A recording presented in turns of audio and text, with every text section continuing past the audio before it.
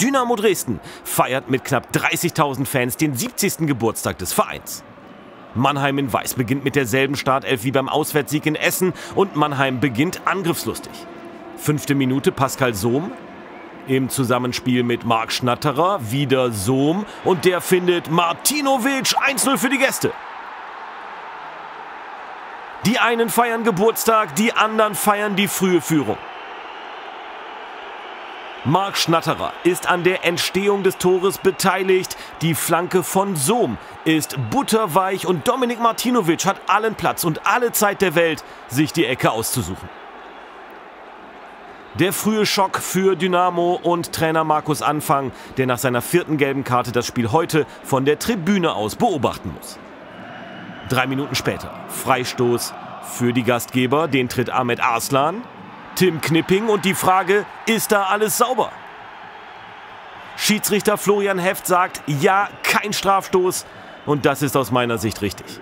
Sowohl Rossipal als auch Knipping ziehen und zerren ein wenig, das ist aber nichts, wofür der Unparteiische auf den Punkt zeigen müsste.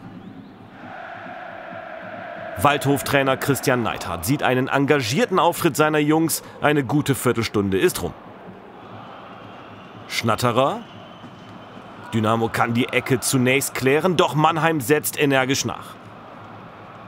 Wieder Marc Schnatterer. Auf Malachowski mit Platz und dem Blick für Wagner. Ganz knappes Ding. Wagner, der gebürtige Sachse, wurde in Leipzig groß und lernte dort das Kicken, vergibt rund 100 Kilometer Luftlinie von seiner Geburtsstadt entfernt die große Möglichkeit zum 2-0 für Waldhof Mannheim. Es ist ein intensives, ein unterhaltsames Duell der Verfolger im Aufstiegsrennen. Elas. Starker Ball auf Borkowski, Conte, Bartels, Kutschke, die Riesendoppelchance für Dynamo.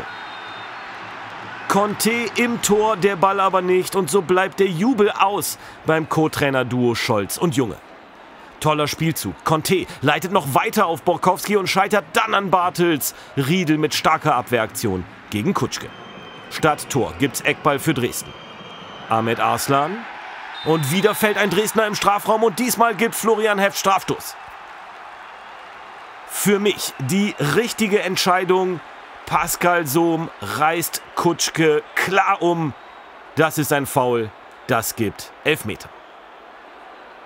31. Minute. Ahmed Arslan tritt an gegen Jan-Christoph Bartels und trifft.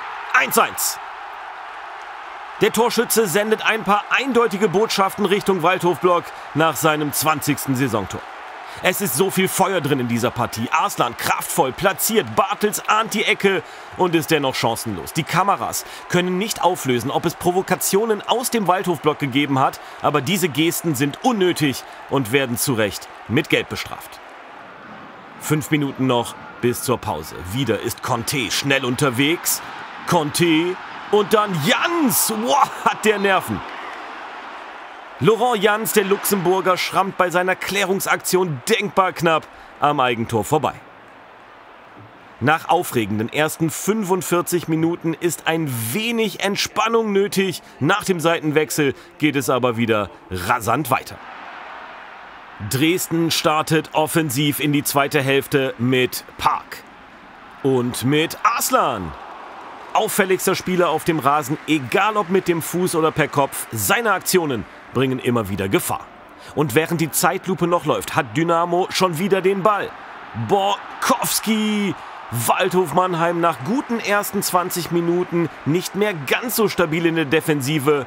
Schönes Zuspiel von Paul Will auf Borkowski. Kurz danach gibt es einen Freistoß für den SV Waldhof, eine Aufgabe für den Altmeister. Marc Schnatterer. Driljatscha muss ordentlich hinlangen. Die Schusstechnik des 37-Jährigen gehört noch immer zur Premiumklasse in der dritten Liga. Mannheim hat übrigens noch nie ein Pflichtspiel gegen Dresden verloren. In drei Duellen gab es zwei Waldhofsiege und ein Remis. Eine knappe Stunde ist gespielt. Es geht hin und her. Lämmer. Borkowski. Zurück auf Lämmer. Jakob Lämmer. Anfang der zweiten Hälfte für den angeschlagenen Conte ins Spiel gekommen. Aus dem Spiel geht nach 63 Minuten Marc Schnatterer und Achtung, da kommt was geflogen. Das Dresdner Choreomaterial souverän pariert. Auch das ist Marc Schnatterer, der sich kurz zuvor vertreten hat und deshalb bereits nach einer guten Stunde den Platz verlassen muss. Für ihn kommt Pledel und der ist gleich mittendrin. Pledel auf Winkler. Grandios. Auf Dominik Martinovic gibt's doch nicht. Eine Riesenaktion des SV Waldhof bleibt ohne Belohnung. Die Ballverarbeitung von Martin Winkler ist erste Sahne und dann macht's Ding Dong am Tor von Stefan Driljaca zur Führung. Fehlen nur Millimeter. Latte, Pfosten, raus. Bitter für die Gäste. Die letzten 20 Minuten laufen und es läuft auch Kyu Yoon Park. Der Südkoreaner kaum zu stoppen. Und als er fällt, gibt's Vorteil.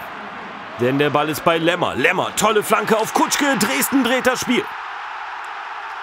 Und dann müssen alle Emotionen raus. Die Kurve bebt, weil Kutschke zum neunten Mal in dieser Saison knipst. Ausgangspunkt ist das Solo von Park, der eigentlich gefault wird, aber seine Verfolger einfach abschüttelt. Dann hat Lämmer außen ein bisschen zu viel Raum, genauso wie Kutschke im Sturmzentrum. Mit dieser Wucht und aus dieser kurzen Distanz hat Bartels keine Abwehrchance Dynamo führt mit 2 zu 1. Noch ist aber Zeit auf der Uhr. Die Waldhöfer machen hinten auf und das hat Folgen bei einem Ballverlust. 4 gegen 3 Situation. Manuel Schäffler, kurz zuvor für Kutschke gekommen, schaufelt die Kugel irgendwie zu Williams, klärt für Mannheim. Das Team von Christian Neithardt macht ein gutes Spiel, dennoch droht die elfte Auswärtsniederlage der Saison. 90 Minuten sind gerade abgelaufen. Da findet der SV Waldhof nochmal den Weg nach vorne. In der Mitte der eingewechselte Tass. Da sind viele gelbe Stutzen im Weg. Trotzdem kommt der Ball irgendwie zu Pascal Sohm. Der ehemalige Dynamo-Stürmer vergibt die Mega-Möglichkeit zum Ausgleich und das mit der letzten Großchance der Partie. Mannheim verliert mit 1 zu 2 bei Dynamo Dresden.